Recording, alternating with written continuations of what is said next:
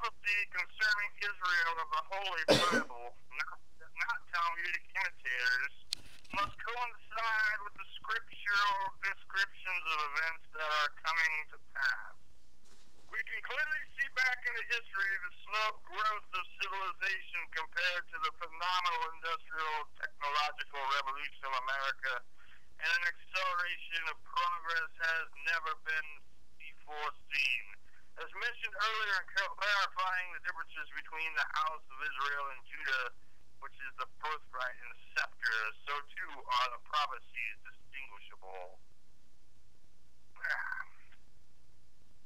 False claims of Jews being uh, Israel or Judah is not supported by prophecy. However, there are prophecies identifying those who call themselves Jews today, such as Isaiah 3 9, the Jews to be known by the way they look and behave. This comes about through mis- miscegenation. Uh, near, near, near, help me out here. Nehemiah. How do you pronounce that? N E H E M I H. You ever read Uh-huh. that? Nehemiah? What? Nehemiah?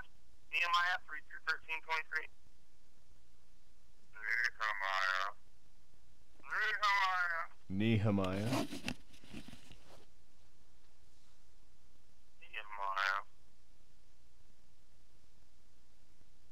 America is historically and biblically distinguished as the New Jerusalem, Zion, the wilderness, the desolate heritage, the land of milk and honey, an Israelite kingdom, and a history gathering location of Armageddon.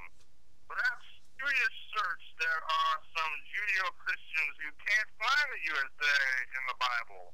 Whether they believe it or not, we are and have been fulfilling Israel's mission and earthly responsibilities.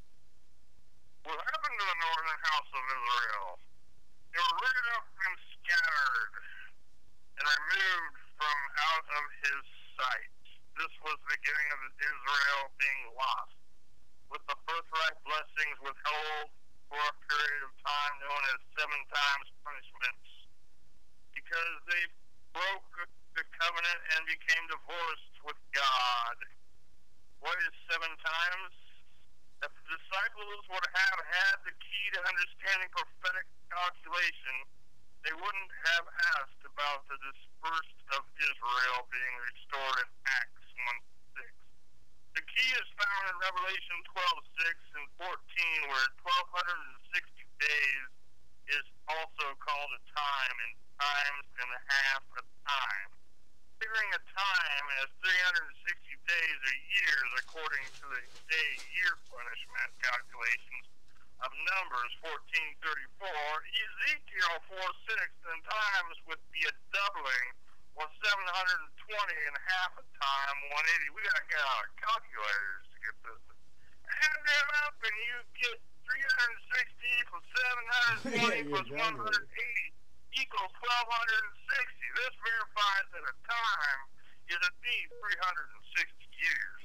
So 7 times is 7 multiplied by 360 would equal 2,520 years. Israel's deportations into Assyrian captivity was completed in 744 BC. By subtracting 744 from 2,520, we pass from BC dating to AD and arrive at the date of 1776. Can you think of any nation that was born in that year? In Deuteronomy 32:26, it says people would not remember them, Israelites, because their identity and name were lost. This couldn't apply to Jews as they pushed their false claims.